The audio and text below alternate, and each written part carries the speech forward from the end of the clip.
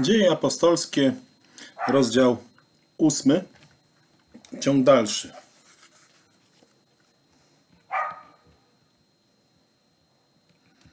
A Saul zgadzał się na jego zabicie. I stało się tego dnia wielkie prześladowanie przeciwko zgromadzeniu w Jerozolimie i rozproszyli się wszyscy po krainach Judei i Samarii z wyjątkiem apostołów. A pobożni mężowie pogrzebali Szczepana i bardzo lamentowali nad nim.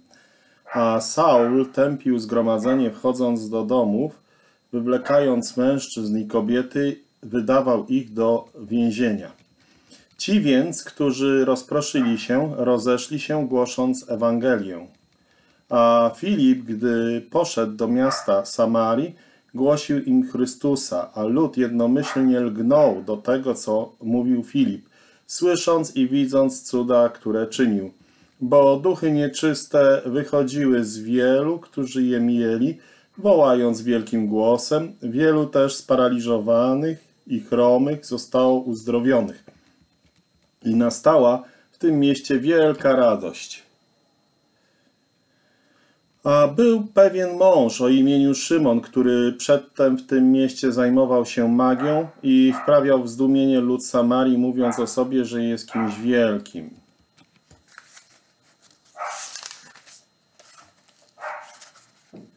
Do którego lgnęli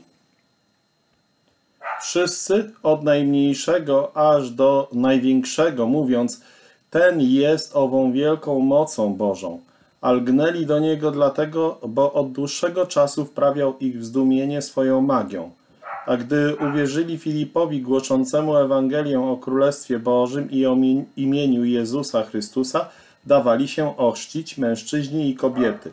Także sam Szymon uwierzył i dał się ochrzcić, a trzymając się Filipa widział znaki i wielkie cuda, które się działy i zdumiewał się. A gdy apostołowie, a apostołowie, którzy byli w Jerozolimie, gdy usłyszeli, że Samaria przyjęła Słowo Boże, posłali do nich Piotra i Jana, którzy, gdy tam przyszli, modlili się za nimi, aby przyjęli Ducha Świętego, bo jeszcze nie stąpił na żadnego z nich, ale byli tylko ochrzczeni w imię Pana Jezusa. Wtedy wkładali na nich ręce, a oni brali Ducha Świętego. A Szymon, widząc, że przez wkładanie rąk apostołów jest dawany Duch Święty, przyniósł im pieniądze, mówiąc, dajcie i mnie tę władzę, aby ten, na kogo włożę ręce, wziął Ducha Świętego. Ale Piotr mu powiedział, srebro twoje niech będzie z tobą ku zgubie, gdyż sądziłeś, że dar Boży może być nabyty za pieniądze. Nie ma dla ciebie cząstki ani dziedzictwa w tym słowie, bo serce twoje nie jest szczere przed obliczem Boga. Dlatego upamiętaj się ze swojej złości i proś Boga, czy nie mógłby ci być odpuszczony zamysł twojego serca, bo widzę, że jesteś w gorzkiej żółci i w więzach nieprawości. Wtedy odpowiedział Szymon, módlcie się za mną do Pana, aby nie przyszło na mnie nic z tego, co powiedzieliście.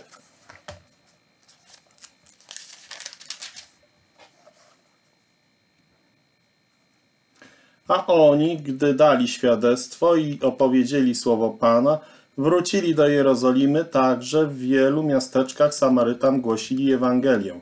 A anioł Pana powiedział do Filipa, mówiąc, wstań i idź ku południowi na drogę, która z Jerozolimy biegnie w dół ku Gazie, jest to droga pustynna. A on wstał i poszedł, a oto mąż Etiopczyk Eunuch, dostojnik królowej Etiopii Kandaki, który był nad całym jej skarbcem, przyjechał do Jerozolimy, aby oddać cześć, a gdy wracał, siedząc na swoim wozie, odczytywał proroka Izajasza. I powiedział duch Filipowi, podejdź i przyłącz się do tego wozu. A gdy Filip podbiegł, usłyszał go czytującego proroka Izajasza i powiedział, czy rozumiesz, co czytasz? A on odpowiedział, jak mogę, jeśli mi nikt nie wyłoży. I prosił Filipa, aby wszedł z nim i usiadł. A miejsce pisma, które odczytywał, było to. Jak owca na zabicie dał się prowadzić i milczał jak baranek przed tym, który go strzyże, tak on nie otwiera swoich ust. W jego poniżeniu pozbawiono go sądu, a kto opowie o jego rodzie, bo zabrane z ziemi było jego życie.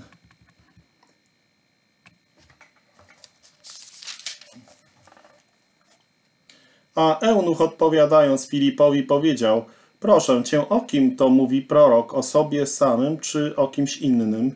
A Filip otworzył swoje usta i zaczął od tego pisma głosić mu dobrą nowinę o Jezusie. A gdy jechali drogą, przybyli nad jakąś wodę i powiedział eunuch, oto woda, co stoi na przeszkodzie, abym nie został ochrzczony? I kazał, aby zatrzymano wóz i weszli obydwaj do wody, Filip i eunuch, i ochrzcił go. A gdy wyszli z wody, porwał Filipa duch pański i eunuch nie widział go więcej i jechał więc swoją drogą, radując się. A Filip znalazł się w Azocie i przechodząc przez wszystkie miasta opowiedział, opowiadał, opowiadał Ewangelię, aż przyszedł do Cezarei. Nie poprzestając na zabiciu Szczepana, przywódcy religijni w Jerozolimie rozpoczęli w tym momencie pierwsze wielkie prześladowanie przeciwko Kościołowi, a Saul był w nich szczególnie widoczny. Spustoszył on Kościół jak wilk, wdzierając się do domów, aby zabezpieczyć swoje ofiary. W rezultacie uczniowie zostali rozproszeni po prowincjach Judei i Samarii. Zgodnie ze słowami Pana skierowanymi do uczniów w dziejach apostolskich 1:8, prowincje te miały powstać po Jerozolimie, zanim ich misja rozszerzyła się na krańce ziemi. A więc znowu był to przypadek, w którym Bóg sprawił, że gniew człowieka służył jego celowi. A jednak, co znamienne, apostołowie, którym dana była ta misja, byli wyjątkiem od reguły. Oni nadal pozostawali w Jerozolimie. W związku z tym opowiadanie pozostawia ich niezauważonymi i kontynuuje o tych, którzy poszli wszędzie ewangelizować, a szczególnie o Filipie, innym z siedmiu. Udał się on do miasta Samarii i głosił moc Bożą, głosił, a moc Boża była z nim i nastąpiło cudowne błogosławieństwo, jak to zawsze bywa, gdy sługa Boży porusza się w bezpośredniej linii boskiego zamysłu. Siew między Samarytanami był dokonany przez samego Pana, jak to jest zapisane w Ewangelii Jana, czwarty rozdział. Wtedy wielu mówiło i to było wyraźnie zaznaczone, że czy to nie jest Chrystus, ale także mówili to jest rzeczywiście Chrystus. Teraz Filip, przychodząc do nich, głosił im właśnie tego Chrystusa, o którym w czwartym rozdziale Jana było powiedziane. Jako tego, który umarł, zmartwychwstał, a teraz jest w chwale. W konsekwencji nastąpił wielki czas żniwa. W mieście tym zapanowała wielka radość. Poselstwo Filipa zostało przyjęte. Zaczął głosić wśród nich rzeczy dotyczące Królestwa Bożego i to doprowadziło do tego, że tłumy zostały ochrzczone. Wśród nich był Szymon Czarnoksiężnik, Szymon Czarownik, który również uwierzył, ale to uwierzenie trzeba dać w mocnym cudzysłowie. I został ochrzczony. Znalazł się on, jak pokazuje werset siódmy, w obecności mocy o wiele potężniejszej niż duchy nieczyste, z którymi wcześniej miał kontakt. Niezwykłą rzeczą w pracy w Samarii było to, że chociaż tak wielu uwierzyło w Ewangelię i zostało ochrzczonych, żaden nie otrzymał daru Ducha Świętego. Porządek, który Piotr ogłosił w dziejach apostolskich, drugi rozdział, 38 werset, nie był przestrzegany przypadku Samarytan. Bóg tak zarządził, jak wierzymy, ze specjalnego powodu. Między Jerozolimą a Samarią istniała religijna rywalizacja, o czym świadczy Ewangelia Jana, czwarty rozdział. A zatem musiała istnieć silna tendencja do przenoszenia starożytnych uprzedzeń do nowych warunków. Oznaczałoby to, że Kościół samarytański byłby niezależny od Kościoła jerozolimskiego, a nawet rywalizowałby z nim. I w ten sposób jakiekolwiek praktyczne wyrażanie jednego ciała byłoby zagrożone, jeszcze zanim prawda o nim zostałaby objawiona. Tak się stało, że otrzymali oni ducha dopiero wtedy, gdy Piotr i Jan zeszli na dół i włożyli na nich ręce, w ten sposób formalnie identyfikując apostołów i Kościół w Jerozolimie z tymi nowymi wierzącymi w Samarii. Jedność Kościoła została zachowana. Kiedy Duch Święty został udzielony, nastąpiło wyznaczenie granicy między rzeczywistością a nierzeczywistością. Nie wszyscy ochrzczeni okazują się być prawdziwymi, ale Duch Święty jest dany tylko tym, którzy są prawdziwi. Dlatego w Samarii ochrzczony Szymon został bez Ducha Świętego.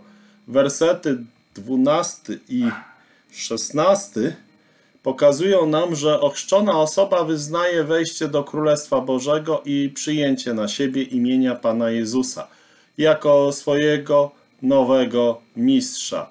Tak jak dawni Izraelici zostali ochrzczeni Mojżeszowi. I to mamy w 1 Koryntian, 10 rozdział, werset drugi. Szymon Poddał się temu wszystkiemu, jednak gdy nadeszła próba, nie znaleziono w nim rzeczywistości. Nigdy nie powiedziałby, daj mi także tę moc, gdyby już ją posiadał. Nie rozumiał jej również, czego dowodem jest jego oferta pieniężna, a także to, że się dziwił.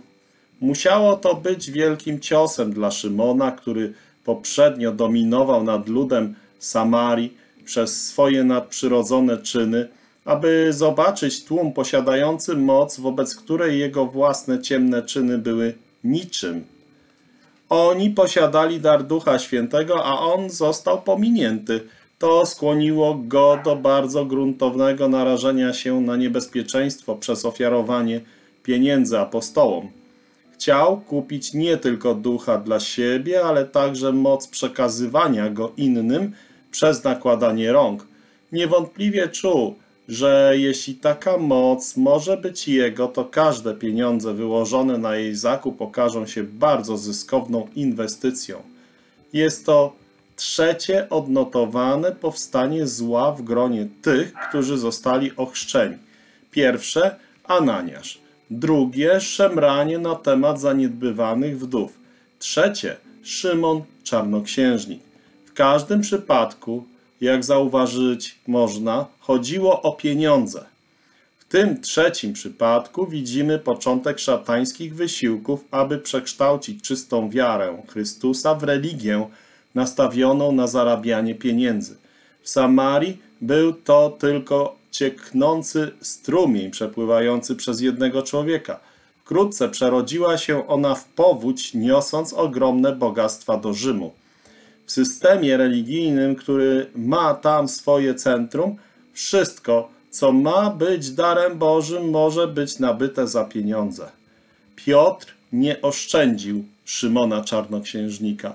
Powiedział mu wyraźnie, że ta okropna myśl jego oznaczała, że jego serce nie było w porządku z Bogiem, że był całkowicie poza prawdziwą wiarą Chrystusa i że zarówno on, jak i jego pieniądze zginą Słowa Piotra z pewnością były prorocze w odniesieniu do zguby, która ostatecznie ogarnie wielki system kościelny, który przez wieki zamienił chrześcijaństwo w religię pieniądza.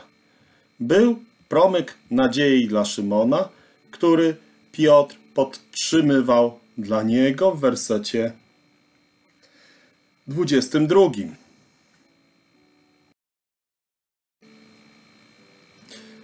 Może on pokutować, a więc przebaczenie dla niego było jeszcze możliwe.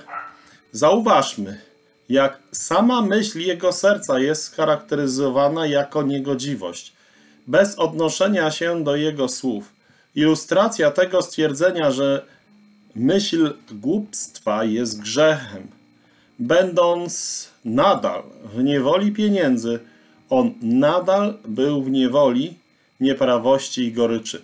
Miłość do pieniędzy jest korzeniem wszelkiego zła. To znaczy, wszelkiego rodzaju zła. Z niej też wypływa znaczna część goryczy, która napełnia ziemię. Piotr powiedział Szymonowi, aby modlił się do Boga, ale z jego odpowiedzi, z odpowiedzi Szymona, zapisanej w wersecie 24, wygląda na to, że brakowało mu skruchy, która doprowadziłaby go do modlitwy za siebie i chciał się upewnić, że wstawiennictwo Piotra w jego imieniu nie będzie płatne. Tłumy od tego dnia zapłaciły pokaźne sumy w nadziei uzyskania wstawiennictwa Piotra. Apostołowie pozwolili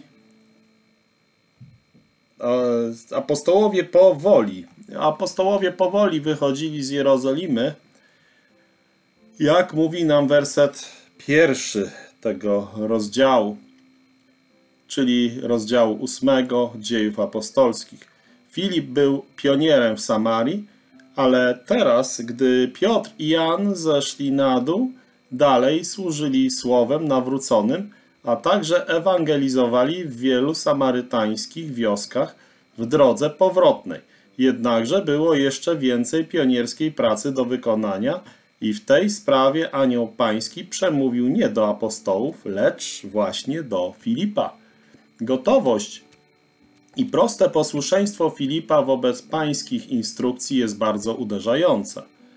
Powiedziano mu, aby opuścił miejsce swojej udanej pracy i udał się na pustynię na południowy zachód od Jerozolimy. Zapisem jasnym i wyraźnym ze Słowa Bożego jest, że gdy mu powiedziano wstań i idź, on wstał, stał i poszedł. Chociaż jego bracia mogli uważać go za niepoprawnego i ekscentrycznego w czynieniu tego. Jeżeli rozpoczynając swą podróż nie znał jej celu, to wkrótce go odkrył, gdyż jego kroki były tak kierowane, aby mógł przechwycić ważnego urzędnika etiopskiego, który był poszukiwaczem Boga. Człowiek ten odbył uciążliwą podróż do Jerozolimy, zgodnie z tym małym światłem, jakie posiadał.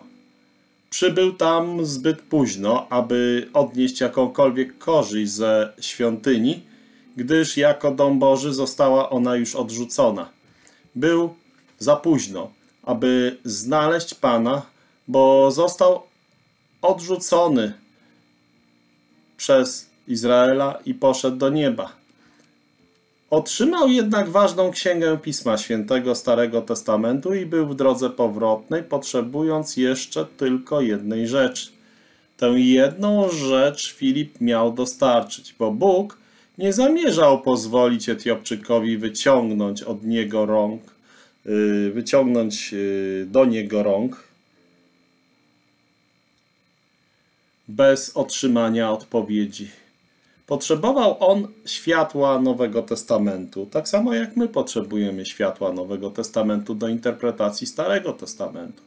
Więc ponieważ Nowy Testament nie był jeszcze napisany, Filip został posłany z przesłaniem Nowego Testamentu.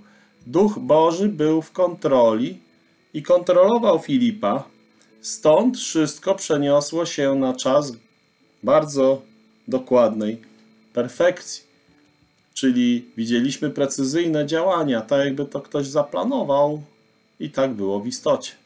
Etiopczyk doszedł właśnie do połowy Izajasza 53, gdy Filip zwrócił się do niego, a jego przenikliwy umysł był wypełniony pytaniem, które ten rozdział nieuchronnie wywołuje w myślach każdego inteligentnego czytelnika – czy prorok mówi o sobie, czy o jakimś innym człowieku. Etiopczyk postawił swoje pytanie. Filip znalazł tam swój tekst i głosił mu Jezusa. Wszystko, co Filip powiedział Etiopczykowi, Łukasz streścił nam w tym świętym imieniu, a łatwo to zrozumieć, gdy przypomnimy sobie, jak w Mateusza 1,21 wprowadzani jesteśmy w to imię i jego znaczenie. Wszystko, czego potrzebował ten człowiek, światło i zbawienie, zostało znalezione w Jezusie. I podczas gdy Filip mówił, on to znalazł. Teraz Izajasz 53 przedstawia Jezusa jako tego, który umarł śmiercią przebłagalną i zastępczą. Tego, który jest jedynym pośrednikiem. Tego, który jest jedynym zastępcą. Tego, którego życie zostało zabrane z ziemi, a Etiopczyk, który najwyraźniej wiedział coś o chrzcie i jego znaczeniu, pragnął być utożsamiony z nim w jego śmierci. W chrzcie jesteśmy utożsamieni z nim w podobieństwie jego śmierci. Tak mówi Rzymian, szósty rozdział, piąty werset. A on czuł, że nic nie przeszkadza mu być utożsamionym w ten sam sposób z tym, którego teraz wierzył. Werset 37 należy pominąć jako pozbawiony rzeczywistego autorytetu manuskryptu.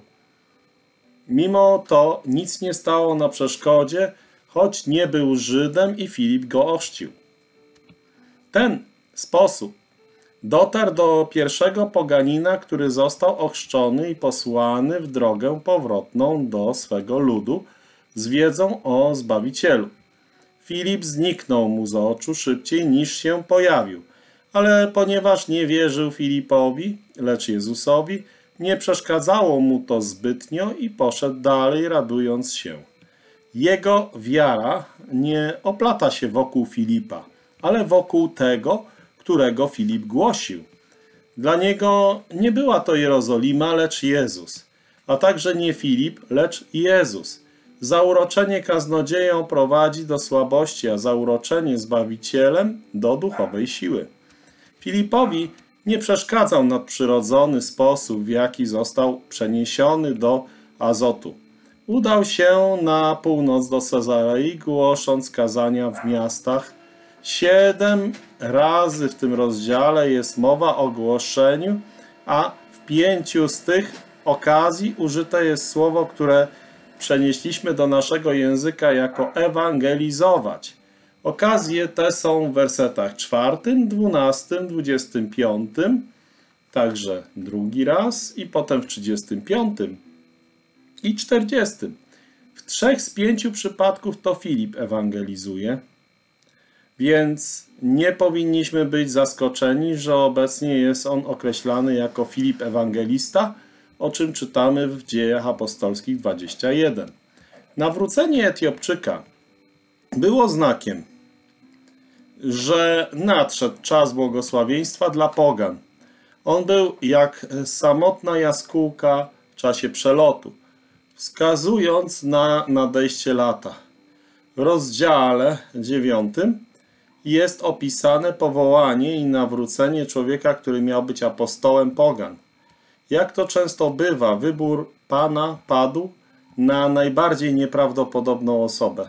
Prześladowca świętych ma stać się wzorowym, wzorcowym sługą Pana. W tym celu został on potraktowany w sposób bezprecedensowy.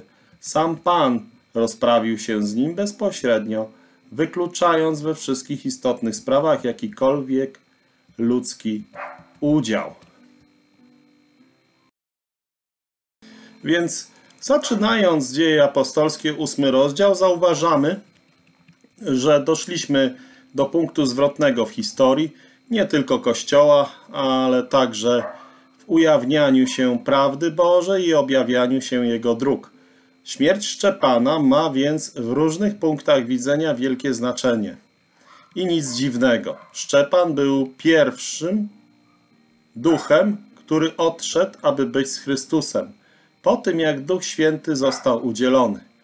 Ale nie był to tylko jeden, który odszedł, aby być z Panem.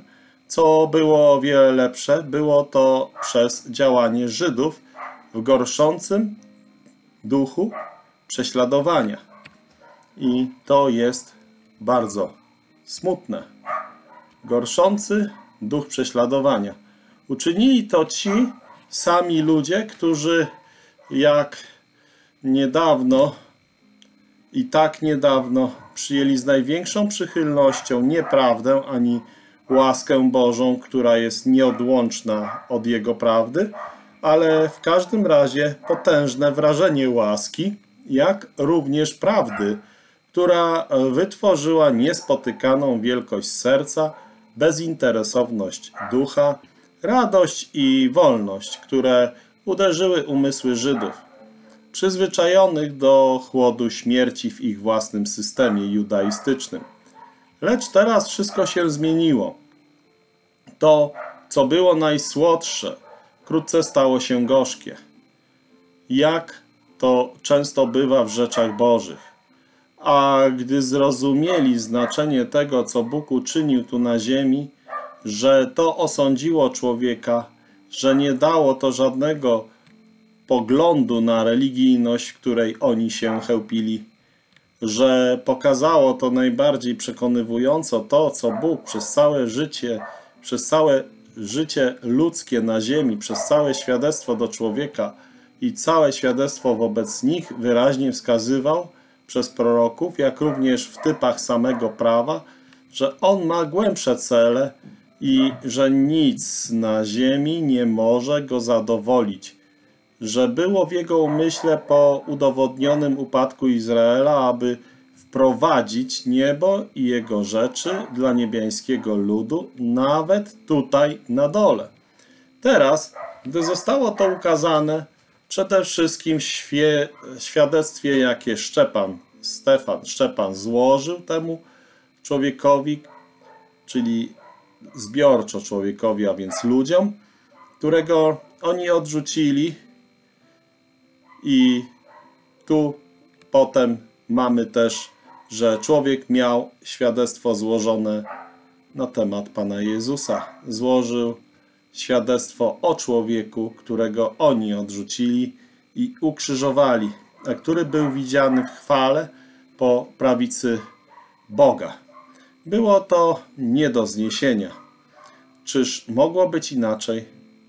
Czy pomimo dumnej niewiary i ślepej niewiary i zarozumiałości, właśnie którą tutaj się charakteryzowali, i to jest wyraźne, że w ich wyróżniającym się przywileju oni byli zmuszeni odczuć, że nie byli w mniejszym stopniu stałymi przeciwnikami Ducha Świętego, jak ich ojcowie, którzy sami byli winni i cierpieli konsekwencję swojej winy w ich upadku przed poganami. Teraz czuli, że oni sami nie byli lepsi, lecz raczej gorsi, że ta sama niewiara przynosiła jeszcze większe skutki, konsekwencje, że byli winni krwi ich własnego Mesjasza, który teraz zmartwychwstał i został wywyższony w najwyższej siedzibie w niebie. Wszystkie te rzeczy były podkreślone przez Szczepana. Rzeczywiście dotknąłem tutaj bardzo małej części jego najbardziej wymownego przemówienia.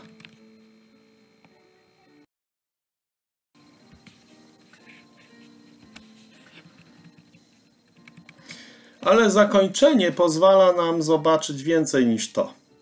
Było to objawienie Chrystusa jako przedmiotu dla chrześcijanina w niebie i objawienie go w sposób całkowicie wykraczający poza wąskie granice judaizmu. Szczepan mówi o nim jako o Synu Człowieczym. Jest to zasadnicza cecha chrześcijaństwa. W przeciwieństwie do prawa ono zwraca się do wszystkich, nie ma żadnego zawężenia w odrzuconym niebiańskim Chrystusie.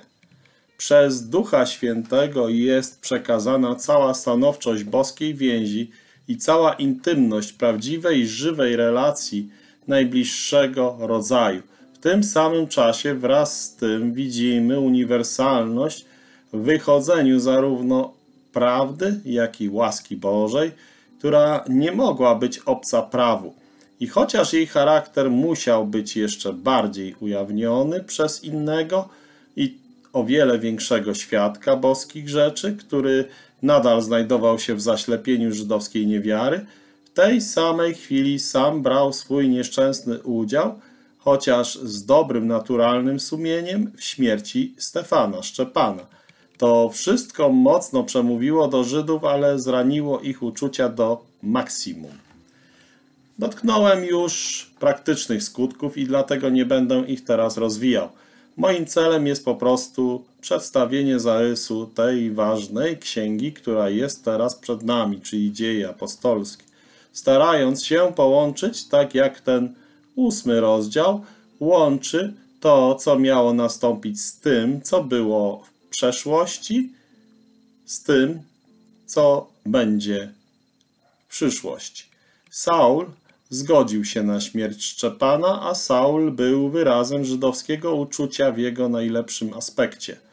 Było ono teraz winne przeciwstawiania się aż do krwi, nie tylko temu, co czynili ich ojcowie, ale niebiańskiemu świadectwu Jezusa. Niemniej jednak Bóg, który przywrócił honor ukrzyżowanemu Jezusowi, nie zapomniał o męczenniku Szczepanie – i chociaż nastąpił wybuch prześladowań, który rozproszył po całym regionie Judei i Samarii wszystkich wierzących, którzy byli w Jerozolimie z wyjątkiem apostołów, to jednak nie brakowało pobożnych ludzi, którzy nieśli Szczepana do jego pochówku.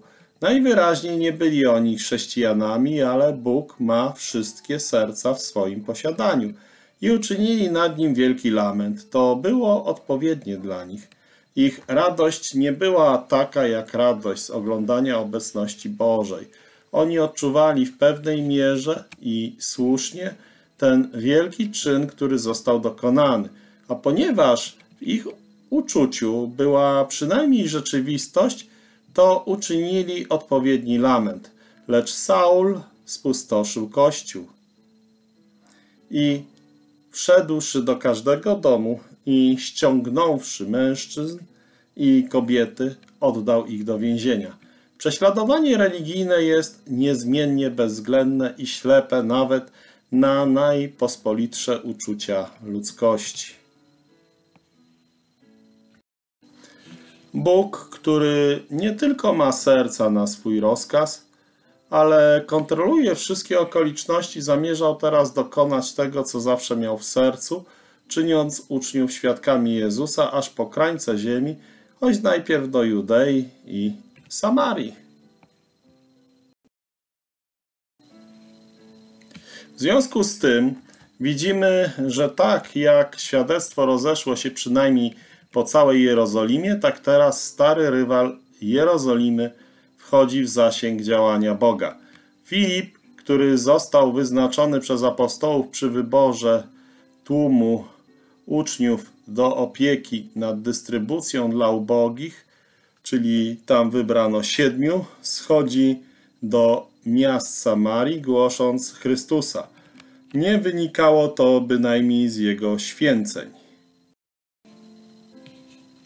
Jego powołaniem była troska o stoły. Jego głoszenie Chrystusa było owocem wezwania Pana.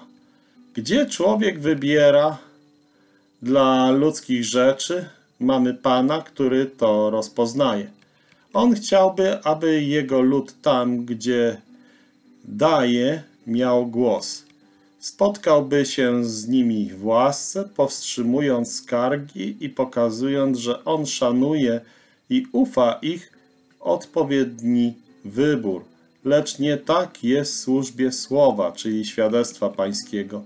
Tutaj Pan sam daje, sam powołuje, sam posyła. Filip oprócz tego, że był jednym z siedmiu, był ewangelistą. Jak to wyraźnie powiedziano w innej części dziejów apostolskich, dzieje apostolskie 21:8.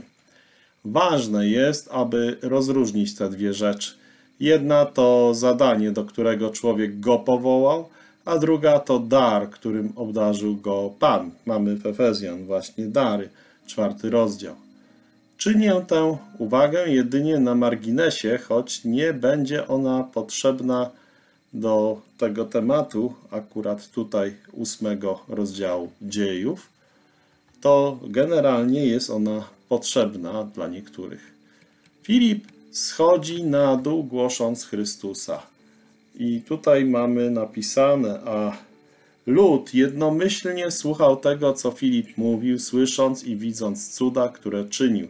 Ale świadectwo cudów może działać na ciało. Są one rzeczywiście znakiem dla niewierzących, a że taki jest ich rezultat, pokazuje nam Duch Boży w rozdziale, który mamy przed sobą.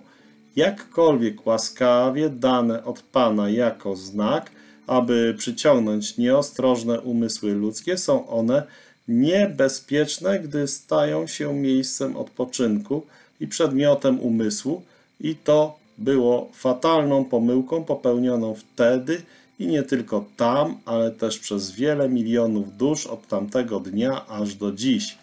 Wiara nigdy nie spoczywa na żadnym innym gruncie, jak tylko na Słowie Bożym. Wszystko inne jest puste, próżne i zdolne do akredytacji, jak również do kuszenia człowieka. Rzeczywiście, przy tej okazji było niewątpliwe działanie Ducha Bożego, moc, która wypędzała duchy nieczyste i uzdrawiała chorych, a także środki do szerzenia radości w całym mieście dla dusz ludzkich. Była to widocznie moc w zewnętrznej manifestacji, tak obficie okazana, która działała na cielesny umysł Szymona, który sam miał reputację wielkiego, a przedtem był naczyniem pewnego rodzaju mocy demonicznej, nędznej mocy szatana, którą oślepiał oczy ludzkie. Teraz jednak znalazł, gdy znalazł się w zaćmieniu, czyli po prostu przestał być w centrum uwagi. Jak człowiek chytry, jego celem było skorzystanie z tej wyższej energii, jeżeli byłoby to możliwe. Jego celem nie był Chrystus. To wszystko było dla niego samego. Chciał zdobyć nowy wpływ, a nie utracić swój stary. Dlaczego więc nie miałby tą nową metodą, jeżeli to możliwe, obrócić spraw na swoją korzyść? Dlatego też wśród tych, którzy przyjęli Ewangelię i zostali ochrzczeni, znajduje się Szymon. Filip nie miał dostatecznego rozeznania, aby go przejrzeć.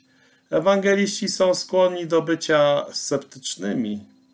Być może, że Pan nie pozwolił, aby prawdziwy charakter Szymona objawił się wszystkim oczom w tym momencie.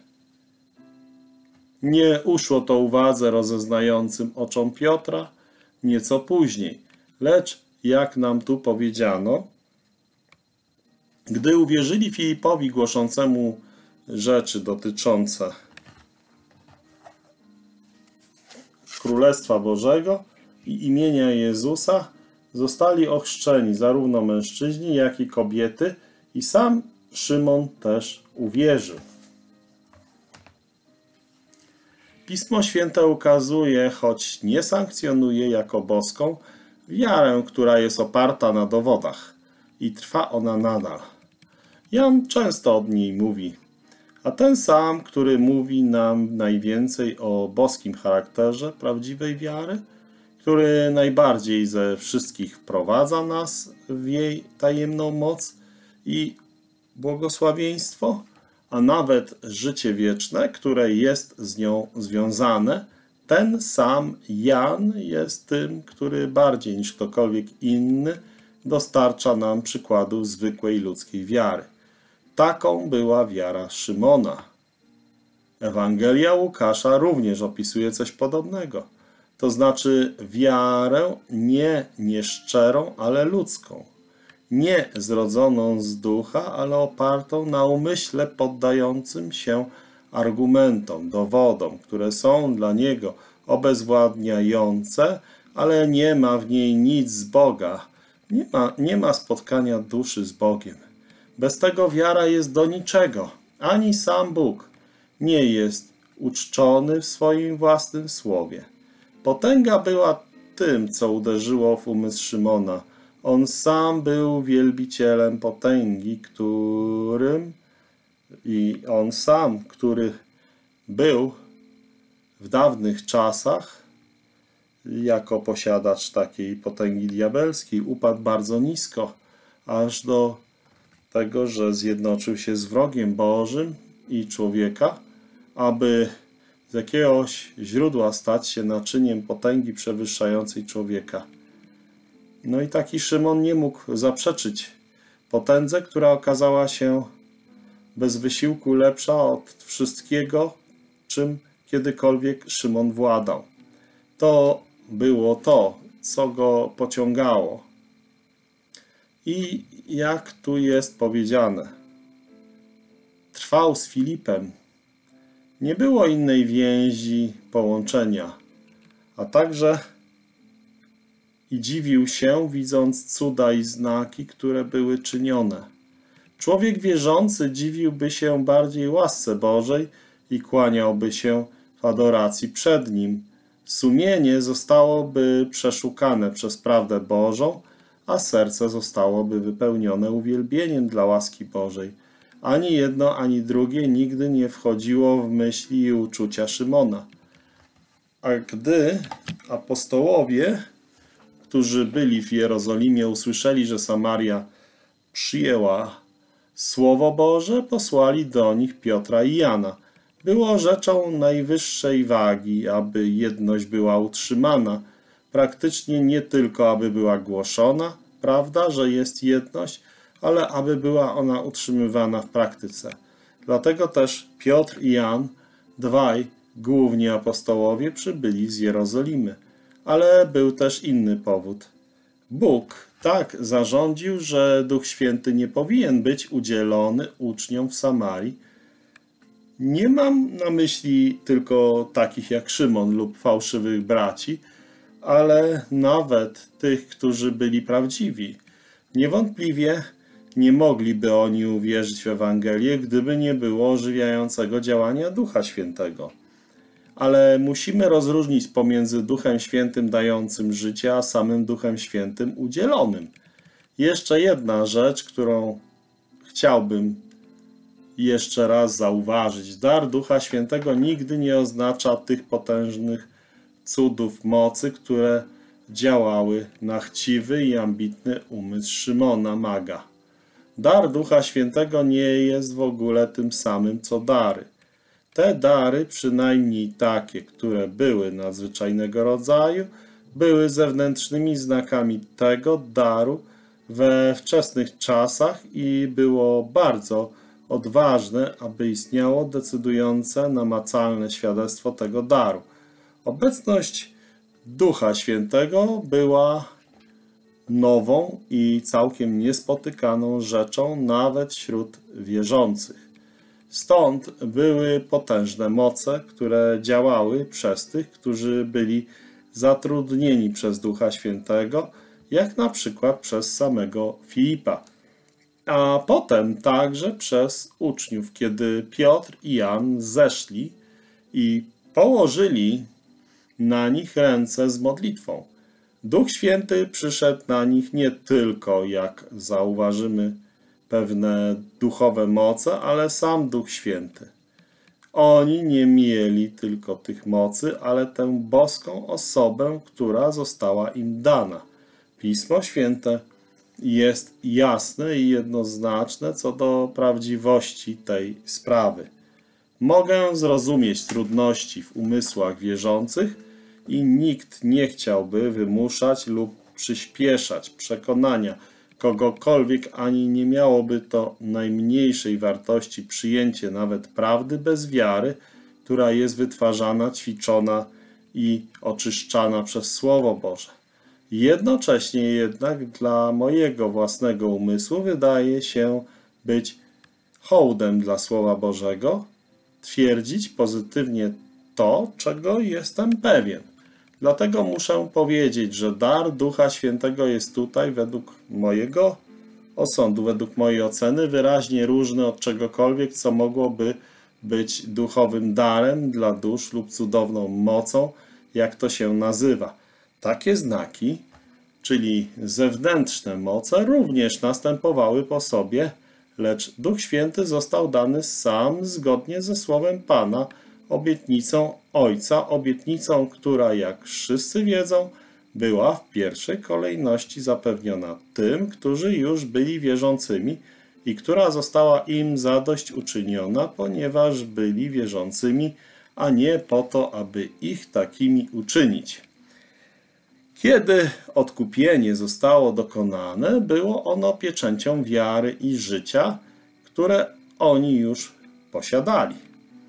Nie ma wątpliwości, że fakty w Samarii były analogiczne, ale należy zauważyć, że Duch Święty był tu udzielony i udzielany przez, a nie jak w Jerozolimie poza, nałożenie rąk apostołów. O tym nie słyszeliśmy nic w boskiej historii o dniu pięćdziesiątnicy i myślę, że Pismo Święte jest wystarczająco jasne, że nie mogło być nic podobnego wtedy i tam. Przede wszystkim apostołowie i uczniowie otrzymali to w oczekiwaniu.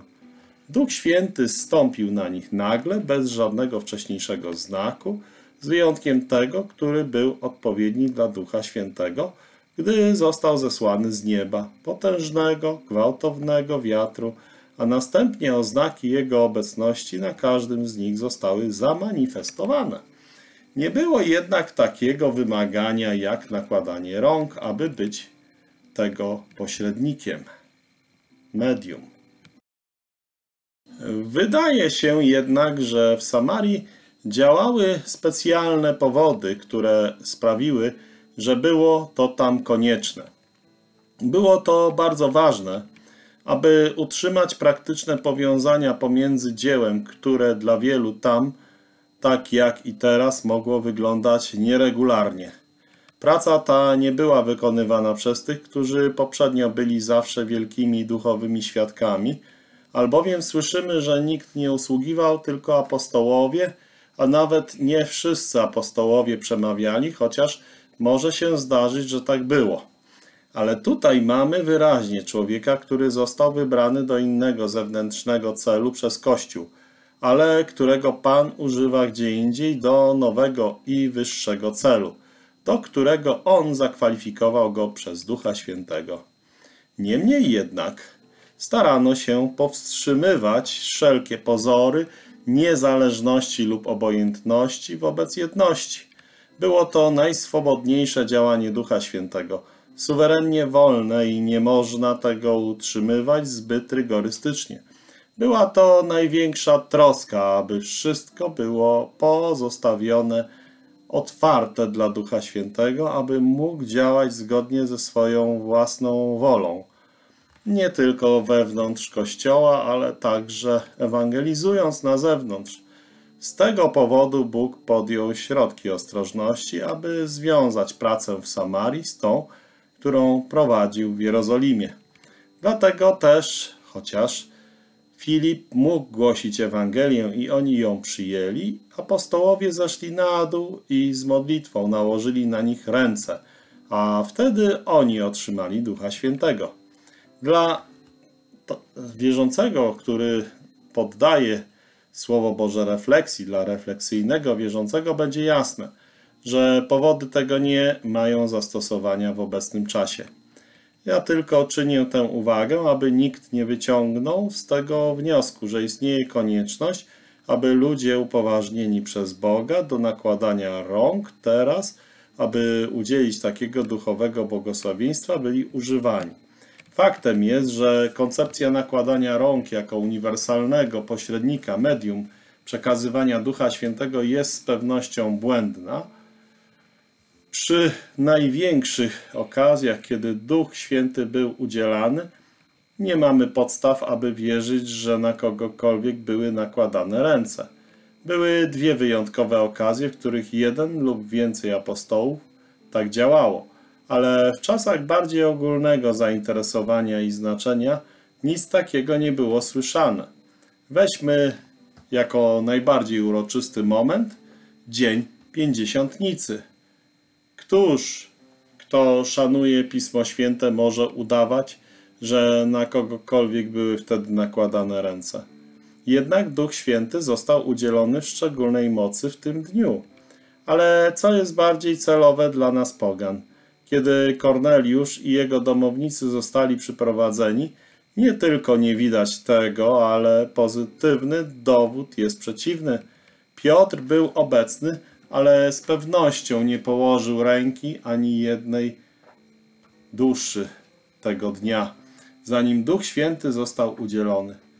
Jak się przekonamy w dziejach apostolskich, dziesiąty rozdział, Duch Święty został udzielony, gdy On jeszcze mówił, zanim oni zostali ochrzczeni. W dniu pięćdziesiątnicy najpierw zostali ochrzczeni, a potem otrzymali dar Ducha Świętego. W Samarii, jak widzimy, byli już ochrzczeni od pewnego czasu. Kiedy uwierzyli, zostali ochrzczeni. Jak to jest powiedziane w dziejach apostolskich, ósmy rozdział, ale otrzymali Ducha Świętego po pewnym czasie dzięki działaniu apostołów.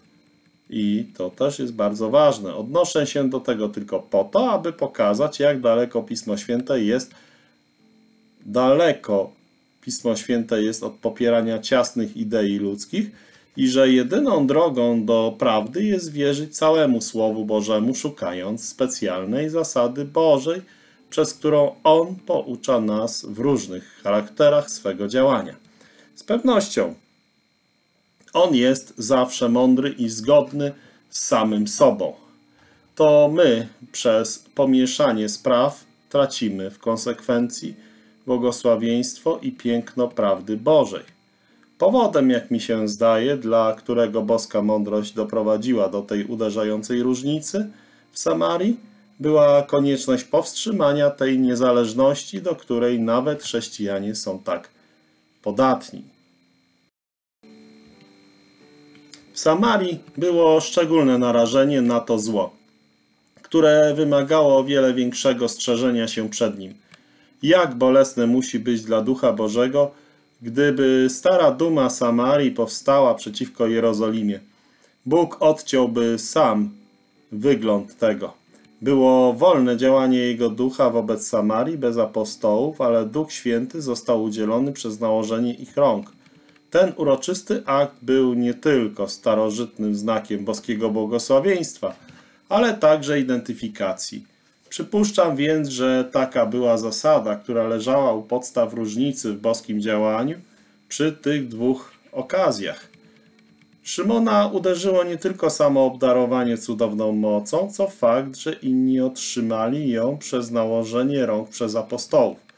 Od razu instynktem ciała dostrzegł on dobrą okazję dla siebie i oceniając serca innych przez swoje własne, przedstawia pieniądze jako środek do zdobycia upragnionej mocy ale to wykrywa człowieka, jak często nasze słowa pokazują, gdzie jesteśmy, jakże często również tam, gdzie najmniej o tym myślimy. Nie tylko w przypadkach naszego osądu, bo nic tak często nie osądza człowieka, jak jego własny osąd o innym, ale także tam, gdzie pragnienie wychodzi za tym, czego nie mamy jakże ważne jest dla naszych dusz, abyśmy mieli Chrystusa przed sobą i abyśmy nie mieli innego pragnienia, jak tylko Jego chwały. Ani jeden promień światła Chrystusowego nie wszedł do serca Szymona, więc Piotr od razu wykrył fałszywe serce. Z tą energią, która go charakteryzowała, mówi Pieniądze Twoje zginą z Tobą, bo myślałeś, że dar Boży można nabyć za pieniądze. Nie masz w tym ani części, ani udziału, bo serce Twoje nie jest prawe w oczach Bożych. W tym samym czasie jest litość, która należy do tego, który znał łaskę Bożą i widział koniec wszystkiego w Jego sądzie.